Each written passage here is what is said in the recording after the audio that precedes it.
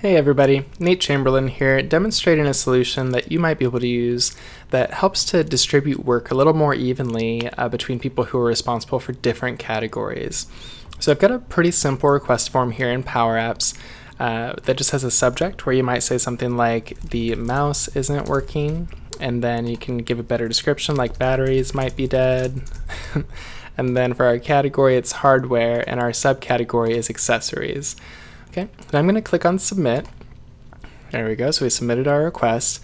And I want to show you a couple other things involved here. Now, first of all, that uh, request that I just put in there is going to show up here in our list called support requests. So I'll just refresh here. And there's my mouse isn't working, batteries might be dead, blah, blah, blah.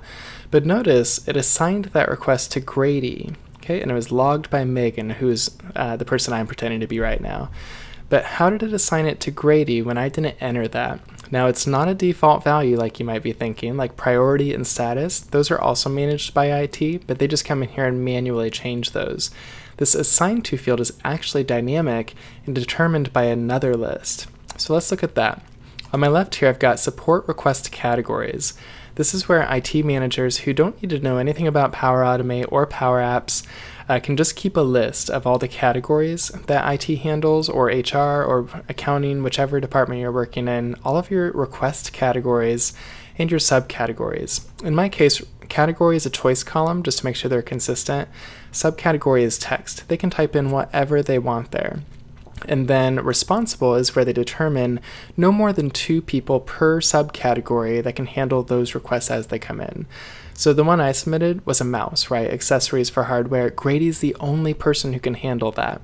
So I put Grady there. Right, now what happens if I choose something that has two people, Grady and Patty? The way I've set this up, I only want one person handling each request, so let's see what happens. Does it go to Grady or does it go to Patty when it's a laptop request?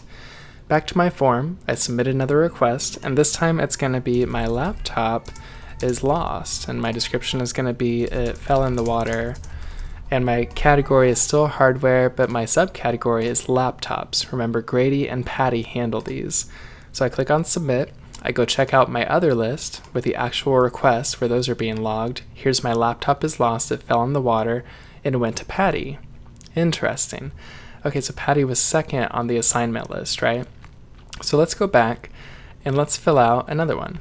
Submit another request and we're going to say laptop is found. Description, and I'm just going to do a weird ticket here and say disregard my last ticket. we're going to say hardware and laptops and submit. So basically the category subcategory was the same. Does this one go to Grady or does it go to Patty? Let's refresh and find out. So this one, laptop is found, which was the same category and subcategory, went to Grady. So it's alternating. It's it's kind of spreading it out a little bit, making sure not, uh, you know, uh, making sure that one person doesn't get everything. So how do we do this? How do we build it? Well, first of all, uh, one reason I chose to use Power Apps as my front end is because I can do cascading dropdowns pretty easily, where I've got my categories like you saw in my list over here. I've got hardware, hardware, hardware, my three blues as accessories, laptops in general. And software's got four, and I didn't want users to have to choose these in a SharePoint list every time. Because if they do, let me show you the user experience. If they do that, they choose hardware, but then they just type in whatever they want for subcategory, or I could have made subcategory a choice field, but then they have a bunch of stuff that's irrelevant to, you know, other categories. So with Power Apps, I can say if they choose software, I only want to see software subcategories. If they choose network, I only want to see network subcategories. So I built this out in Power Apps, and I won't get into the details for that this time, um, but that's why I went this route.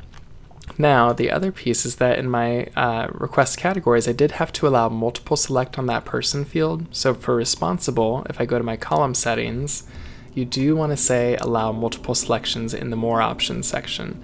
That way you can tell your managers that they can put two people, up to two people in that field for this solution to work. If you do three, whoever you put in the middle is not going to get any assignments. so uh, for my solution, I said you can put a max of two people in that field, and we're going to try to distribute work between the two people per topic. All right, now the nice thing about this is your managers can manage this list anytime and they never have to edit the flow, they never have to edit the Power App, right? They just manage this one thing and then as requests trickle in, it's referring to this again and again. So if someone were to leave the company, they come here, edit it, take out that person, and maybe put in another one in their place, right? It's pretty simple. And then if someone goes on vacation, let's say Isaiah is going on a week long vacation, Isaiah can be replaced with someone else during that time, and any requests that come in during his vacation go to that other person. Again, without editing the Power App or the Power Automate flow. So let's look at the flow. That's where the real magic happens here. Now in my flow, we go ahead and edit here. I've got my Power App trigger. So I started this flow um, from Power Apps, just creating it there. And then one important thing you're going to need is an assign to variable. This is how we're going to um, basically assign it to the first or the last person and then assigned column. All right, so initialize a variable, just add a step that's called initialize variable, name it v assigned to if you want to be like me, and then change your type to string. Don't put anything in the value box. All right, now I'm going to move kind of quickly through this, but you can always pause the video and catch up. So now I'm going to create an item and in my create item, this is where I did uh, all of my ask Power Apps steps. So for example, create item title. When you click into one of these fields that's in your request list, like mine here, you just click in and then one of your options when you search your dynamic content is ask in Power Apps. This is how you can, from your Power App, tell Power Automate which values plug into which spots. So uh, whatever someone typed for their title in my request app comes in as the title here. Whatever someone typed as their description comes into my description here for SharePoint. So this is the transfer of those pieces. But notice I also set a default priority value, default status value, and I set the date reported to whatever the timestamp is right now. Uh, if you don't know how to do that, you just click into a field, go to expression, type UTC now, and select that, and click OK and that just means whatever time it is right now when this is running is going to be set as that date field. Okay, so date reported is right now. All right, and then I've got a few more Ask in Power Apps steps there for the uh, category value and the subcategory, and then you'll notice I have five here, but on my form I only had four fields, one, two, three, four. The last one was who submitted the form, and you can get that in Power Apps just by using user so here, I'll just do it in this random formula bar. But when you type user and then open and close parentheses, you can pull in different details about whoever's filling out uh, the form at that time. So I could say user.email, for example, and then that pulls in whoever's filling it out's email. Back in my flow, I've got a compose step here because for me, I wanted to distribute work better rather than just saying, you know, go to this person all the time. I'm going up to two people in my method. And so I have this formula, and I've got a different video on this if you want to get into details, but I've got a different expression that I wrote here where I'm saying if the ID number of the requests that came in, meaning the SharePoint item that was created as a result of the form being submitted, if that item's ID number is odd, assign it to this person, or if it's even, assign it to the other person. And this works nicely because if there's only one person assigned to a subcategory, it still goes to that person. It doesn't matter through my method. All right, so you can see the, the formula there if you want to copy that down or go ahead and type that in. But the thing that you're going to have to change is the ID field. So just make sure where it starts with outputs and it ends with the ID single quote square bracket, that needs to be your, um, your ID field for your request. Okay, now if you're not sure how to get that, I'll show you real quick when you fill out your expression, you can say something like if equals mod, so that's kind of how I built mine, and then right where you're putting mod is where you're going to put the uh, field for your ID. So you just click where you want it, go to dynamic content, find that ID field. So let me find mine, there we go. I found it here, and notice it puts it right in there exactly how it's supposed to be written. So outputs create item body ID. Perfect. And then I just finished my expression. So again, I'll show you what that looks like here. There we go, so the body ID, and then divided by 2, and if it has a remainder of 1, it's odd, otherwise it's even. And again, I have a whole video on that if you want to get deeper. So I've got odd or even for the request number. Now, the next thing I need to do is connect to my categories list where I have the categories, subcategories, and who's responsible for it. Because I need to figure out if someone submits a request where they selected hardware and accessories, I need to know who's responsible for it in that moment in case it changes, right? It's very dynamic. Same with software. If they choose Jira, it has to go to Adele or Megan. So, this get item steps connects to a different list. Same site in my case, but a different list with just the category, subcategory, and assignment. Now, what makes this step work is making sure that you put a filter on there. So make sure you say uh, the category is equal to the category value selected in the Power App. Now this is showing SharePoint because I'm using the create item. You can see in the tooltip there. This category value comes from whatever is put into the SharePoint item in the request list. So the category of the categories list must be what was selected in the Power App. And the title, which in my categories list is actually the subcategory, must equal whatever is selected as the subcategory in the Power App. Okay. Now, the reason it says title instead of subcategory here is because uh, the title was the default field that came with my list, and I renamed it to subcategory. But on the back end, that field is still called title. So go to your list settings and select your column name if you're having an issue here. Uh, and when you look in the URL, it'll tell you the name of the field that you should be using here. Okay, I'll go ahead and show you that. So if I go to my list and I go to its list settings, I'll just pick on category and we'll look up in the formula or the URL here notice field equals category. So that's how I know what to put here in my Power App category right there. Okay, or title is what I would have gotten from the URL for subcategory. So we keep moving on, and then now inside of an apply to each, I'm saying basically anything that it found from that filter query for that list.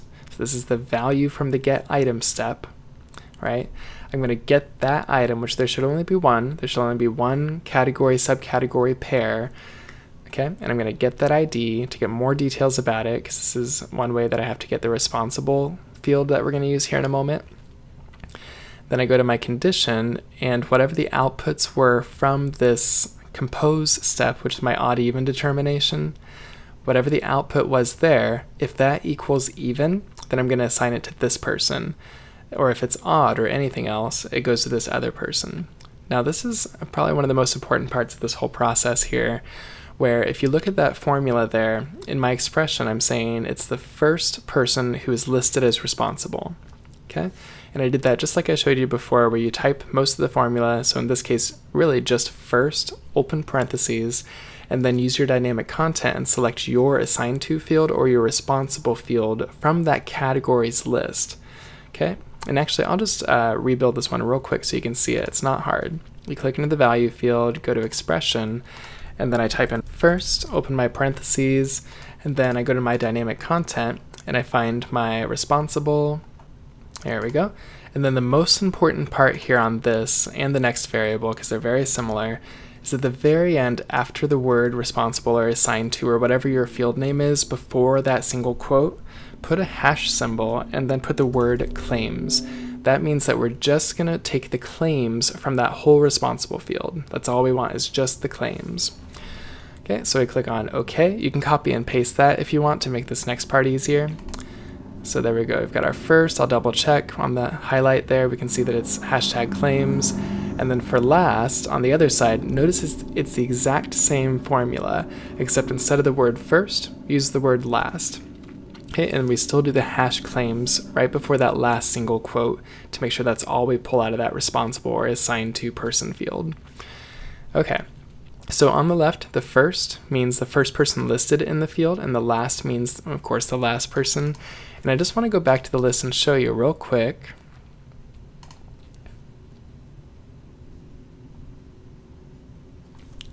that when there's one person listed, Grady is the first and the last, so he's always going to get the accessories request under hardware. However, in the laptops category, Grady will be the first person and Patty will be the last person. And because we're using my even odd logic, it's going to somewhat evenly distribute them based on, you know, when the requests are coming in and all that. So it'll be one of those two people, right? Kind of splitting it up between them. All right. So back to our flow here. Now that we've set that variable for assigned to, we can update the original item that was created. So someone submits the Power App, it creates the item, then we go back into the item since we had its ID number and we determined who should be assigned that item. And all we do here is we update the assigned to field. So put your variable in the assigned to claims uh, or whatever your field is called, right? So we've got the claims in the claims field there. Now, uh, the last thing I threw on here is just a really quick email, just back to the submitter saying, uh, hey, thank you for submitting the uh, ticket, we've got it, and we're working on it. So that's not really important. All right, so let's go back and do a couple tests here. We're gonna submit another request, and this time, let's put in something for the network. So we're gonna say our network Wi-Fi is having some issues, and we'll say the lunchroom uh, doesn't have Wi-Fi. Interesting. And then our description is I can't surf the net while eating my sandwich. And we'll submit that. There we go. Now let's see who's responsible for network Wi-Fi. So I go back to my request categories list here, and I can see that under network Wi-Fi, it should be Nestor or Isaiah. So uh, according to my flow, even numbers will go to Nestor and odd numbers will go to Isaiah. So let's go look at our list and we can see that spotty connection, or sorry, lunchroom doesn't have Wi-Fi, went to Isaiah, and if I check my ID number, that's 17, so it's an odd number. Perfect, so Isaiah got the odd request.